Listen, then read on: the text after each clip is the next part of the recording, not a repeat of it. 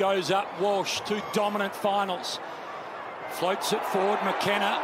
Watches on, little chance for Docherty to Cottrell. Breaks the arc, little bounce, a stumble, over the shoulder, a look, and the Blues, they're away! He's just turning up at a contest clean and then really smart to just take the ball forward under pressure early in a hot fight. Just away, just press pause, Marchbank to Cottrell.